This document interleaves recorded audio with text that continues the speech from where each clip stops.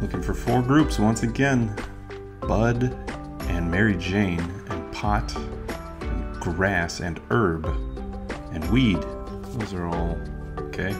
Wok, and Pot, and Crock, and Skillet. I don't think I see any more than that for place to cook things.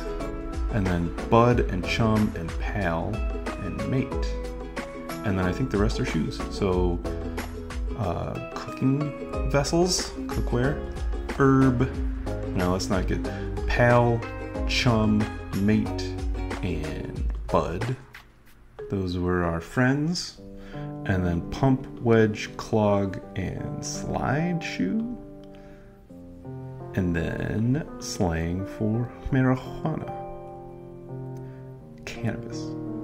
Alright. Thanks for watching. See you next time.